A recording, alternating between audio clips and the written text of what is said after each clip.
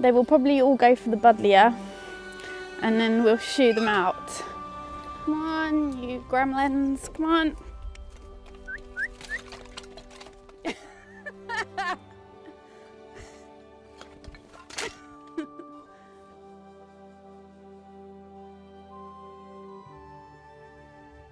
it starts to rain, they're at the gate screaming to be let back in. They've got me well trained.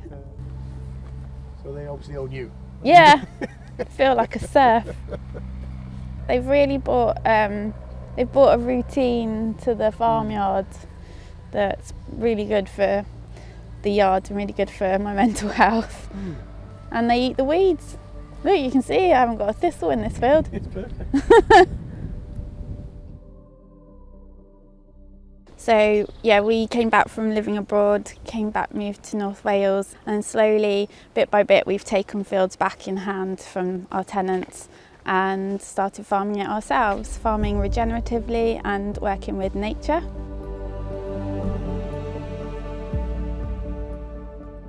So we started grazing the first field.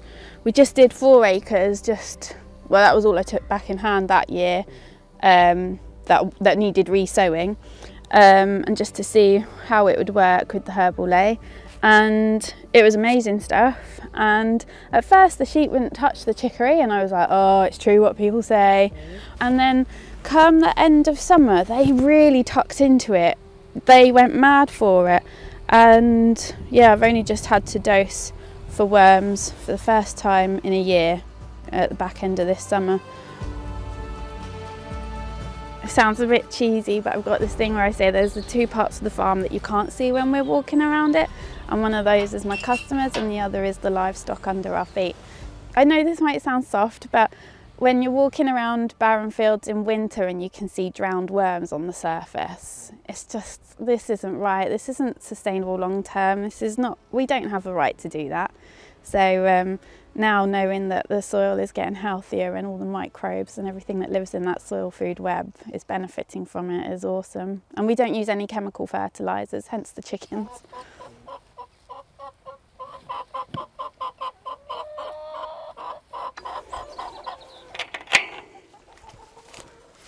This is my weightlifting in the morning.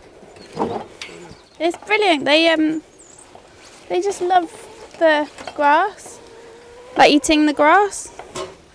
And then the food that they've got is um, organic uh, layer pellets, and uh, that's kind of there as a reserve. They don't go to it straight must, away. Yeah, and that, that must last a long time. Yeah, the chickens that I've got, like the pet ones on the yard, they go through their layer pellets like they're sweets. Yeah.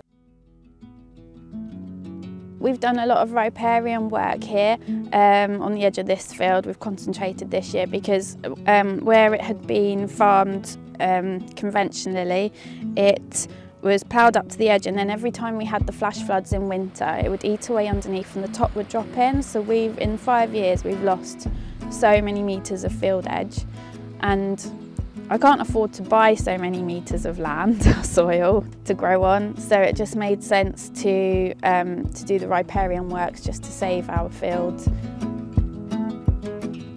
It was a bit different what we did. We coppiced the willow and alder in the next door uh, field, so that will regrow. And then we scraped the bank back to 30 degrees and we buried the trees like whole trees um, where we'd coppice them into in the soil. The idea is that then that tree trunk becomes the root ball for the suckers that it sends up and it's worked amazingly. And then we've got all this regen um, and it didn't get sown and all that clover's just there. It's just come up naturally. So that's great for putting nitrogen back in the soil and then we've got you know such a diverse species uh, range of species already. And then like yeah around the corner there you see the tree guards. Yes. that we haven't got half the ground cover come up on that bank. So I really think that like there must be so much nutrients in these tree in the bark and everything that's mm. under the soil just feeding everything because yeah it's almost it's embarrassing. It's a bit bare there it's almost like nature's trying to solve some of its own problems, isn't it? And then conventional farming is trying to stop that. Um, to my mind, costs a lot of money to try and fight nature. We have a mink raft and we set it here. We have put it out on the water in the shallows, but it actually works better if it's just on the rocks. Um, and we've got a few spots um, up and down where we use it. And um, I use an egg as bait. I don't know, I'm sure I could be doing the job better, but I'm just glad I'm doing the job. You can tell when they're around because you can hear all the ducks and the wrens and everything just squawking their heads off. And it even, oh, and the kingfisher, you hear them screeching as well. And it's like um, in the night you hear it, so then I know the next day I need to go out and move the raft to where I heard the noises, which part of the riverbank the noise was coming from. And then within a week, you've caught, caught, yeah, caught it. But I was a bit, I wasn't really on it um, enough this summer, really, um, with everything going on. Um, but yeah, glad I got four. There's a guy down river from us, and he's caught 50 odds this year. Yeah. I would love to be able to like find find a, a grant that would help me um, renovate it into an outdoor classroom.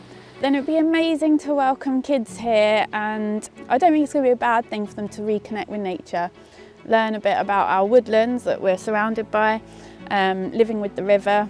It'd be great to do something with them on clean water and yeah, and on where the food comes from and the farming side of things. But even if we could do something showing green energy use as well with the stream or with the river sat there, could, you know, it could really spark some imagination. You don't know what seed you could plant in someone young and yeah, I just think it would be a really awesome opportunity. I can't walk past poo these days without looking for an indicator that things are all right. Some people look on the spreadsheet to see if uh, things are all right and I'm looking in the muck. If you either your um, your animals or worm your animals, you're also um, doing that with all your insects as well that rely on the muck.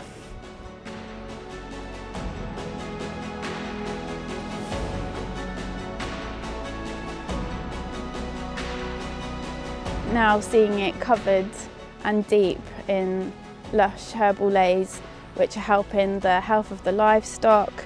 It was full of pollinators, um, hoverflies were just mad here, the bees. It's really rewarding and you kind of feel like, well, we might, yeah, we're doing something right.